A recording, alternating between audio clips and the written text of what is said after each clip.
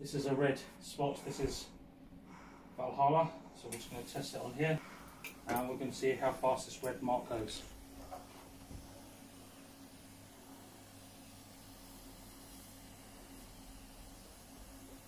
Valhalla's a pre-spray, spot stains.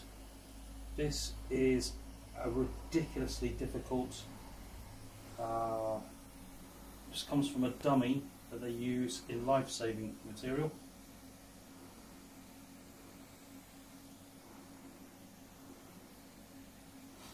It's a really heavy chemical.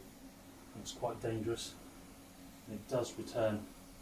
So after this I'll be using the spot and stain, uh, sorry the claw to remove it.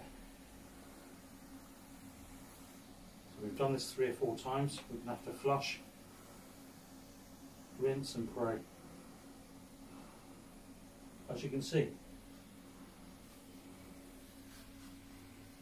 it's vanishing. Should I say disappearing? This stuff's pretty damn good.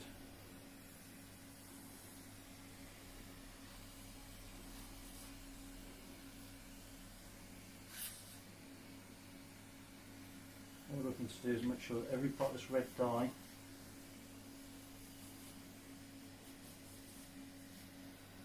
which is an unorthodox way of doing it. Be quite honest, I would have normally blotted the area out and uh, I've done my tests on here already, got an idea what the pH level is and I know, I know what the, the stuff is on here. I've got no idea how to keep it out of the backing of the carpet.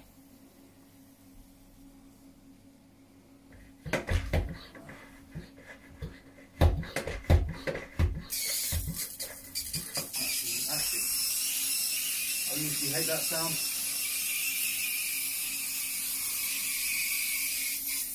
I'm going with it. Right, as you can see, most of that has gone. Uh, I'll now be flushing it, rinsing it, and got a claw on it. Thank you.